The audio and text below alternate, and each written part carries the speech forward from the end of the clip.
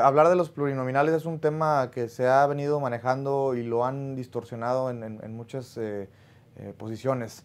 Hay quienes eh, están gritando que los quiten, hay unos que no.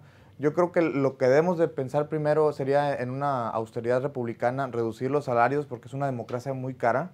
El tener tanto diputado representa un gasto tremendo para, para el gobierno y obviamente para el pueblo. Vamos a reducir primero los salarios de todos los diputados y ya después este, analizar que realmente a lo mejor se pueden reducir, pero no, no eliminarlos.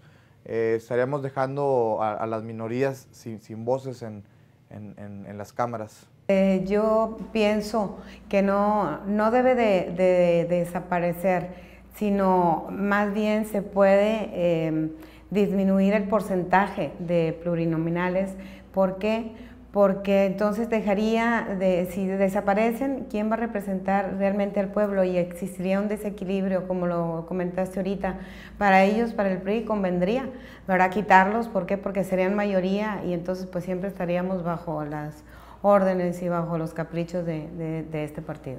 Claro que sí, eh, pues para ellos les conviene seguir en el poder y seguir manejando eh, los destinos del país y teniendo ellos siempre mayoría, pues así va a ser. Y realmente, ¿quién va a representar al pueblo? ¿Quién va a ser la voz del pueblo? Por eso lo que yo propondría es eh, bajar este, a lo mejor la proporción, vamos, de plurinominales. He estado de acuerdo en que es necesario ya hacer una reducción. Te voy a explicar cómo empezaron las pluris y por qué se hicieron. Como antes era un solo partido el que dominaba la mayoría del país, se empezó a considerar que para poder tener más democracia teníamos que darle participación a otras personas, en este caso ya a otros partidos políticos, porque siempre pues el PRI ganaba, el PRI ganaba, te hablo de mi partido, el PRI ganaba y no se hacía tan democrático. Te estoy hablando de muchísimos años el por qué se crearon las pluris. Ahorita ya estamos en, un momento en el que son los, demasiados los partidos políticos, en el que ya no se ponen de acuerdo, en el que 500 diputados es imposible conciliar con ellos. Yo creo que si podemos reducir a que sean 300 hasta el momento, sería algo muy benéfico, sobre todo para sacar mejores acuerdos y mejores leyes, pero sobre todo lo que representa económicamente para el país en ahorro. Yo te quiero decir que en esos 200 diputados se gastan 30 millones de pesos mensuales. Es necesario reducir esa cantidad de plurinominales y aquí yo quiero ser bien congruente entre lo que digo y lo que propone el Partido Revolucionario Institucional. Nosotros lo propusimos el año pasado en una encuesta ciudadana donde se juntaron millones de firmas y la Suprema Corte lo desechó por considerarlo anticonstitucional. Yo estoy en contra de que se eliminen los plurinominales, porque en un país que tiene un gobierno hegemónico que es del PRI 80 años, un país donde no tienen igualdad ni peso político los trabajadores que los campesinos y que los empresarios, es evidente que se requiere una, una compensación.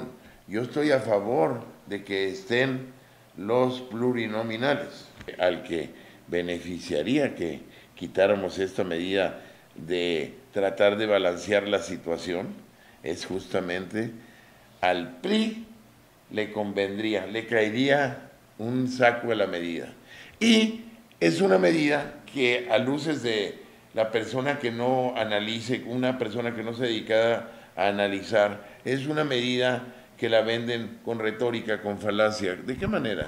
En el sentido que dicen, no, es que hay que ahorrar el costo, imagínate lo que salen este, 200 diputados plurinominales, bajémoslo a 100. Y en realidad el bajarlo a 100 no tiene un impacto directo fuerte en la distribución, pero sí es la antesala para luego erradicarlo. Y si lo retiramos así de golpe, lo único que estaríamos haciendo sería eh, aumentar lo que es la, dictadura perfecta que tiene ahorita el PRI. O sea, le estarías quitando totalmente la voz a, las fracciones opositoras. Eh, recordemos cómo una fracción de diputados y senadores de otros partidos que ya se identifican con Morena son los que han estado, a fin de cuentas, tratando de frenar este, el, posicionamiento del PRI-PAN, por ejemplo, la, Ley General del Agua. Este, si no estuvieran esos diputados ahí eh, presentes, Eh, a lo mejor el pueblo mexicano no se hubiera dado cuenta de, ese plan que tiene PRI, PAN y Verde en cuestión del agua, cómo la van a privatizar. Entonces es necesario que haya siempre ahí eh, diputados y, en este caso también los, los senadores de, oposición presentes y, son los, los plurinominales, ¿no?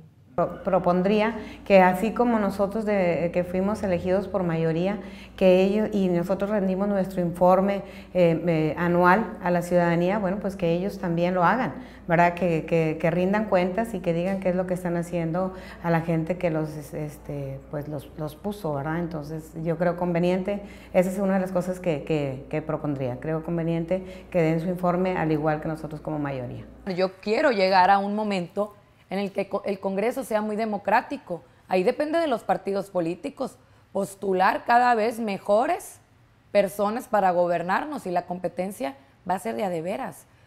Entonces ahí tú estás diciendo que vamos a ganar nosotros ya todo como partido y que no va a haber poder de decisión sobre los demás. No, yo creo que la oportunidad está para todos de igual forma. Ahí lo que deben de hacer para ellos ganar las elecciones es hacer buen papel como gobernantes, pero sobre todo elegir mejores personas. Y así se van a seguir ganando la confianza de la gente. Yo considero que es demasiada la cantidad de diputados, son 500.